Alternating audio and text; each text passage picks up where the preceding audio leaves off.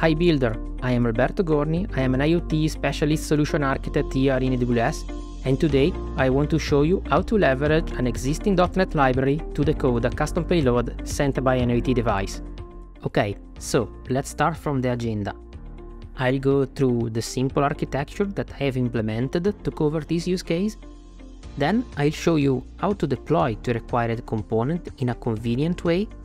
We will have a demo with a data simulator sending binary payload and the AWS Lambda decoding it. And finally, we will wrap up with the possible next steps. But first of all, here is where you can find the source code that I'm going to use for this video. Let's start with the architectural diagram. On the left side, we have a device sending a custom binary payload as an MQTT message to AWS IoT Core. In my case, this will be a simulated device implemented as a console application in .NET using a common MQTT library. In AWS IoT Core, I've configured an AWS IoT rule which is triggered by the data received from the device. In the select statement of the rule, I am calling an AWS Lambda function written in .NET, which leverage an external class library to perform the decoding of the binary payload and return the JSON to the rule. Now in the rule, you can trigger one of the possible actions to send the decoded data to a downstream service. In my case, I just republished the JSON payload into another MQTT topic in AWS IoT Core.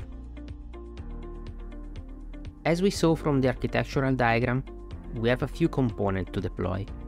We have a Lambda function, an AWS IoT rule, and an IoT device that need to connect to AWS IoT Core.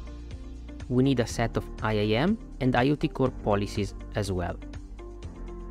To deploy all those things, you can just open the console and create them manually. As an alternative, you can use AWS CLI or Author, a CloudFormation stack. For this video, I decided to use AWS Cloud Development Kit. With AWS CDK, you can define your cloud infrastructure using code. It's a kind of abstraction layer on top of CloudFormation that leverage the expressive power of a familiar programming language to define your application resources. Let's see now this stuff in action.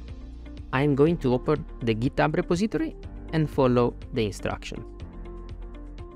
As a first step, I'm going to clone the repository using the following command.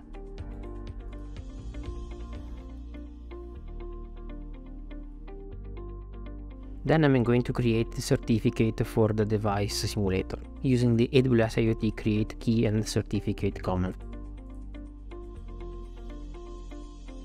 With this command, I'm asking basically AWS IoT Core service to create a certificate for the device. The certificate then is stored locally here in this host. So as you can see, we have the certificate CRT file that contains the actual device certificate and the private and public key. With the previous command, we create a certificate, we also register the certificate in AWS IoT Core and activated it. So double check that, we can go in IoT Core, console, security, certificate, and this is the certificate that we have generated before. As you can see, there is no policy attached and no things attached. This will be done later by the CDK stack.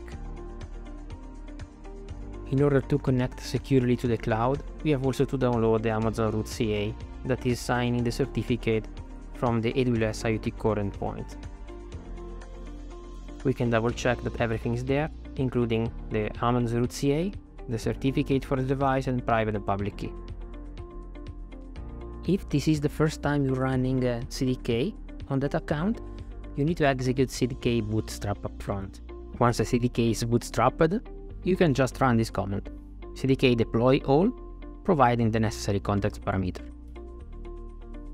This is going to deploy two stack.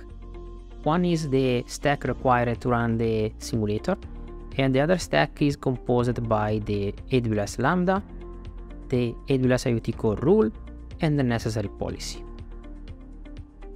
CDK is going to create a couple of IAM policy and is asking you for the approval before creating that.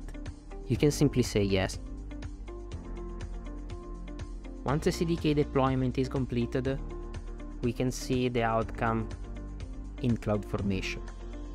In CloudFormation, we should have a couple of stack. One is the IoT core infrastructure stack, and the other one is the IoT simulated device stack. The first one created the AWS Lambda and configure the AWS IoT rule.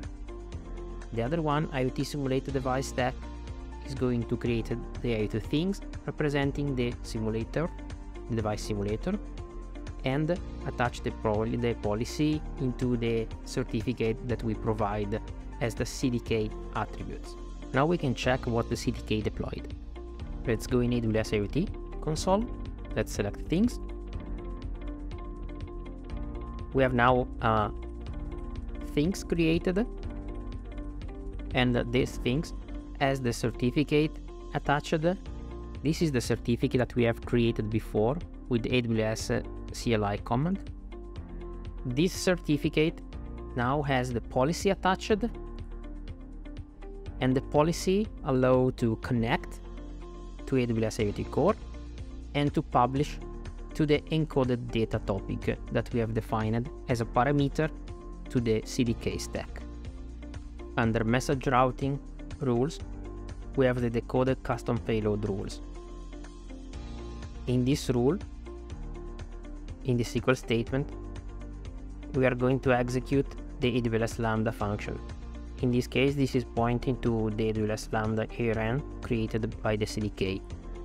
As a payload, we are providing the base64 encoded payload coming from the device and sent to the encoded data topic.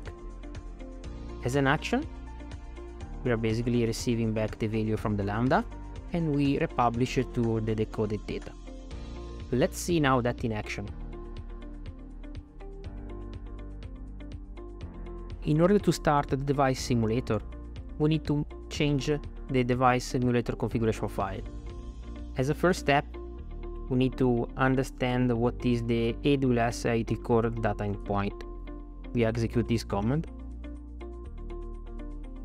This is describing the endpoint for the data plane of AWS IoT Core. Now we can copy this value and we can modify the device simulator configuration JSON file. We can replace this value with the actual endpoint. For the other parameter, we can leave it as it is, as this is the actual value that we provide to the CDK and the actual certificate and private key in Amazon root CA that we downloaded in the previous step. In the GitHub repository, under source, uh, lambda, we have function and we have the actual function handler. This is basically receiving the base64 payload, the code from payload string from a base64 string into a byte array, and the execute an external library my payload deserialize method. So this is deserializing the byte array into an actual object. If, this, if the deserialization works, set also the isValid parameter to true, set the payload, and return it. If there is any exception, it's just modified isValid as a false, and response exception to the exception, so that uh, this can be eventually handled in the rule. If we check under custom serialization library, there is the object myPayload that is actually representing uh, the actual payload that the device simulator will send out, including an equipment name, a timestamp, a temperature, and humidity. And we have the two methods, one to serialize as a byte array that object, and the other one to deserialize the byte array to that object.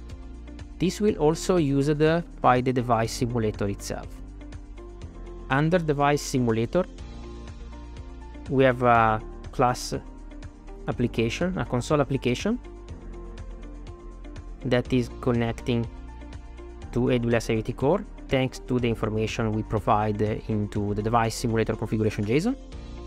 It basically loads the certificate, connected thanks to the MQTT client library, create a my payload object with some simulated values, and send as an MQTT message. And that's it what the simulation library does. Let's now execute it. In order to start the simulator, we can just, uh, in the folder where the simulator is, execute.NET run. But before doing so, let's go and uh, subscribe to encoded data and decoded data as well. So let's run the simulator now. And this is going to publish a message to encoded data. And uh, the Lambda function will be executed to the rule engine. And we can see the decoded data. So in the encoded data, we cannot see the value in a proper form because this is basically a byte array.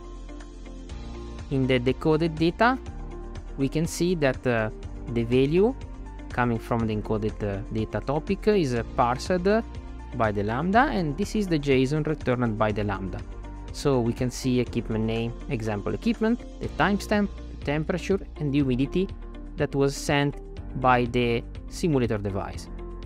And that's all. Please remember to clean up uh, the CDK stack with the, the following command. In this case, we are going to remove all the infrastructure created with the CDK, with the exception of the certificate that we created with the CLI, so that you have to navigate to the AWS IoT console and remove uh, the certificate by yourself. Okay builders, let's do a summary. We saw a device simulator sending binary payload to AWS IoT Core. AWS IoT rule trigger a Lambda, which decode the payload into a JSON. That rule just republish it to another MQTT topic right now. If you want, eventually, you can use a different activity rule and feed a downstream service to further process and store your data. That's all for today. I hope you enjoyed the demo. See you soon.